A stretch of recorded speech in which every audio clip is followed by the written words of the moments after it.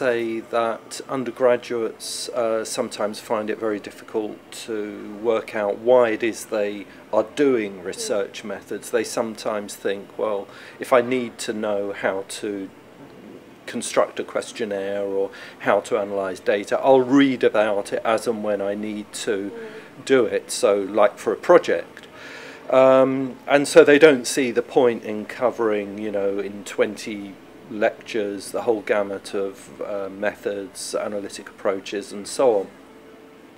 Postgraduates tend to be much more attuned to the case for being um, instructed in the in the variety of methods. So nowadays I don't teach undergraduates, mm-hmm. but but I think the the approach has been um, to explain to undergraduates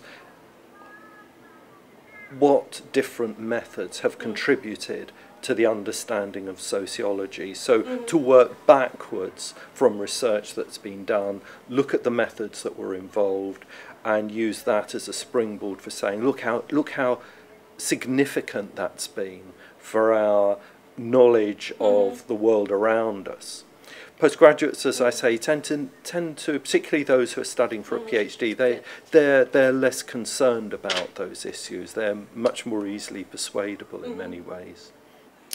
Um, well, I think um, my own proposal, I think over the mm. years, has been that mm. methods should not just be taught on methods modules, but uh, I think the crucial thing is to persuade colleagues to also refer to methods when they're dealing with substantive issues and generally to build up a more cooperative approach towards the teaching of methods so that methods aren't just dumped, you know, on one mm. particular module. Well, I suppose the biggest challenge is to um, get people um, to engage with something that they're not comfortable with, really, kind of immediately. Mm. That starts with kind of the, the dentist being not even um, really very, um, you know, aware of, you know, that you could rate the evidence and some things that look very shiny on paper mm. in dental update or something like that may actually be quite shoddy research and sometimes people get it, sometimes they don't, and you, you always get the one or mm. two who say, "Oh my God, I always thought I could just read it up in there, and now I find that it's all kind of it, it could be kind of no good at all." Mm. And so the only really challenging one is if you are in the general research methods module and you have your qualitative corner, mm. and then you get people saying, "Well, but what about?" Um, generalizability and repeatability and, mm. and what about you have a, you have a tiny sample size how do you how do you kind of decide on your sample size well I work for a research group at Oxford University where we're a, a group of qualitative mm. researchers and we collect people's experiences of different health conditions and we mm. film our interviews mm. and we publish these experiences online at Health Talk Online and Youth Health Talk mm and the lay summaries of the research are interspersed with video extracts from the interviews. And this is a freely available resource. And I've taught qualitative research methods now for several years to undergraduate and postgraduate mm. students and health professionals. And I've found that using this resource within the teaching has been really important to students. They found it very valuable. Um, we use the video extracts to illustrate different parts of the research mm. process and we use the data to actually analyse, to demonstrate analysing mm-hmm. data to students. Um, and I think the, the way students can see real life examples of, of qualitative interviews being done sort of exposes the messiness of the process mm-hmm. in a good way and encourages them to engage more critically with the process. And I think the student feedback has always been that they've really appreciated this this close mix between practical experience that, that the people teaching the courses are all mm-hmm. researchers and the theory and, and, and um, mm -hmm. sort of epistemological underpinnings to that process. Mm. We use the resources slightly differently, so in terms of the undergraduates, we're, we're presenting more of a generic picture mm. of res qualitative research methods, and so it's at a slightly um, more generic level. And then with the postgraduates and health professionals, I would say are similar in that they want a more in-depth understanding. Mm. So then we go deeper into the data, deeper into the video extracts. We have quite sort of quite um, hmm. heated discussions about debates around qualitative research methods, of which there's mm -hmm. quite a few contentious issues around validity and transferability and, mm -hmm. and mm-hmm. so on and so forth. So we use these materials really as a discussion point with the postgraduates, mm -hmm. whereas with the undergraduates it's slightly more to, to, to get them to see what it's like to do research. Mm -hmm. So there is a slight difference. Face-to-face -face, uh, can only really yeah. deal with the core issues. Mm. And to develop more skills in particular, I think you need supplementary materials, and luckily there are lots of good ones around, and so it, uh, it's essential to use them, I think, and to get students to use them and also judge their own quality as they go through. So they've got to learn that some online sources are better than others.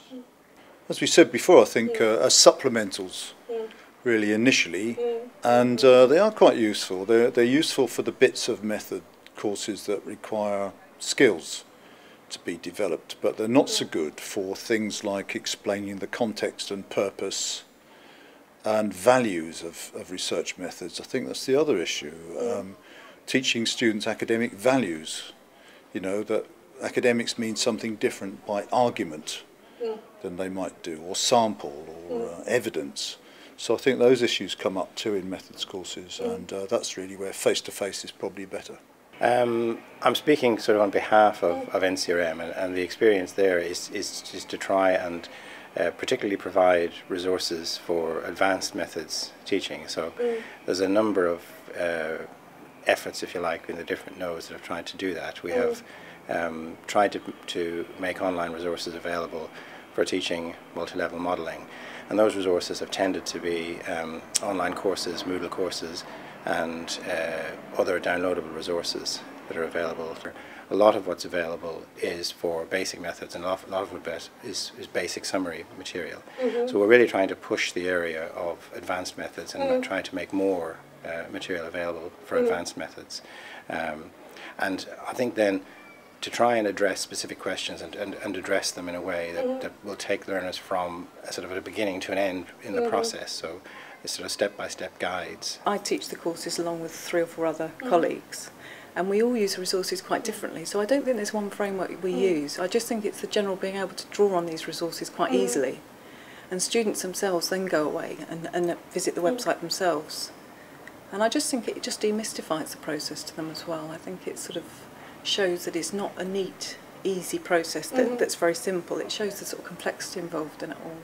So I definitely think it's transferable, mm-hmm. um, without a doubt. There's about 2,000 mm. video extracts mm. that are done by probably a range of about 15 interviewers who use slightly different approaches, slightly different methodological approaches. So if you look through the website, you can see different examples of interviewing techniques, for mm. example. You can see examples when rapport is slightly um, not well established. There's all sorts of different examples that you can see very good examples of, of, of a very engaged reflexive researcher asking particular questions that's generated really rich in-depth mm. data and at the same time less robust examples. Mm. So I think it's the range of, of mm. examples on there that, that you can sort of present to students and, and get students to reflect on what's happened in that extract. And again with the analysis as well, there's such a rich database of, of, of you know data for students to grapple with. And then you've got the finished project in terms of the published research we have mm. in peer-reviewed journals. So students are able to see this whole process through to the end. Mm. And I quite like getting students to think we go through a set of data that has had a published paper, and, but encourage the students to think about how would they have analysed the data, what mm. different findings would they have come up with. And again, I think it helps them engage um, more holistically with the process. And my own view is that I've, I tend to use web materials, online materials, purely as supplementary. Mm. They're there to um, enhance my lectures, to enhance the material that I'm trying to get across.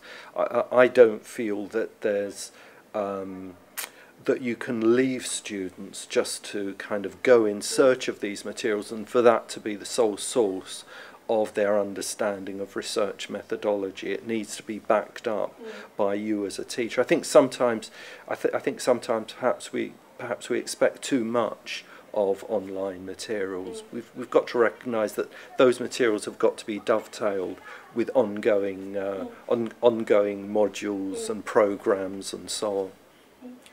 Because again with teaching I think that issue of time is key. You have all sorts of good intentions about adding different resources to the course, wanting to um, include certain things, but there's a limited number of weeks in, in the academic year for you to actually deliver that material, and you've got limited time to actually prepare it. So having somewhere that, as a teacher, you could go to and know, okay, well, here's a list of resources about using visual methods and ethical issues to do with that in social policy or whatever,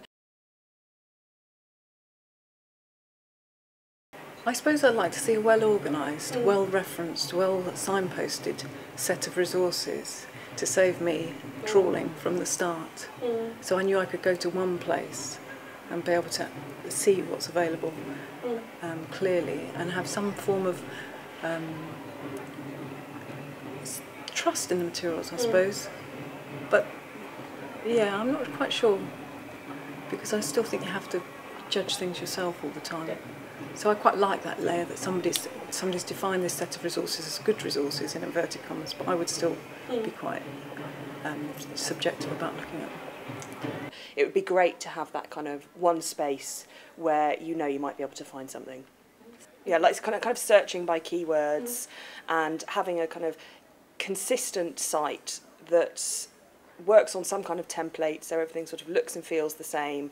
So it's not these kind of bitty things all over the place that you're trying to figure. Like we've been talking about, you know, the value and how useful it is and how good it is and who and who wrote it, which would also help with the citing issues if you've then got a space to go to. The kinds of resources um, need to be highlighted to a significant extent, I think, as ones that are particularly appropriate to undergraduates and ones that are particularly appropriate to postgraduates, because there are issues of level, there are issues of need as well. So I think that, in a sense, the space when we talk about a space, there are mm. probably several spaces, and those spaces need to be attuned to the needs of different groups of mm-hmm. students. where there is a large collection of resources and it is classified and stratified and mm. there's some agreement about uh, mm. suitability. And also they're, they're very diverse, you know, because again, I don't think that one system necessarily works. Some people like video and others like uh, things like Xerte or PDFs. So a variety of material, but also some way of finding your way through them, I think is crucial. The portal model where um, there are properly indexed sort of different subject area interests, different methodological approaches, different ethical issues, um, categorised in such a way that you can draw on generic resources if that's necessary and needed for your course, but you can also draw on uh, subject specific or particular methodological issues um, and have everything in one space so you're not having to trawl through the web to look for particular resources, to try and find different things. And the, the basic structure I'd like to see is a collection of collections. I'd, I'd like to see a lot of resource devoted to providers of resources being able to, in a sense, set out a shop front more effectively so, so that basically they can pull together what they're producing and present it in, in, a, in a clearer uh, way and, and present it in a way that's easier to find. And then I would like to then have some way of tying those together or directing people. I think a lot of people who are looking for resources uh, will go and they may, they may be produced by an, a particular member of staff in an institution, but finding it and finding it through the front door of their website, if you like, um, is often quite difficult.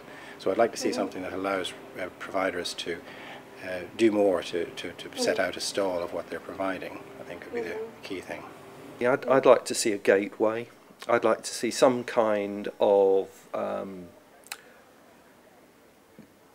a, a site that people could go to that would not only provide them with jumping off points to particular methods or analytic approaches, but would help them to see what the, the role uh, of those particular methods and so on would play in some kind of wider research project.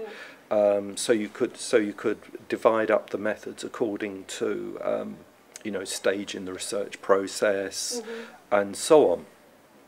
But the other point is that I think it also needs to be linked to uh, people's needs and expectations. You know, so I think uh, if there if there was some way of devising the gateway so that it could be geared to the needs, say, of PhD students yeah. as against a second year undergraduate, yeah. then I think that would be that would be really handy. But the, but it's it's a very big ask. It's a mm. very it, it, it, it would involve a lot. But currently that's what's missing. Mm. We do need something that people can go to, that instructors can go to, rather than rather than rely quite so much as we do on word of mouth, mm. googling, happening to come across things as we're going through the internet, I think it would be handy to have something that was a starting point, a springboard for a variety of web materials.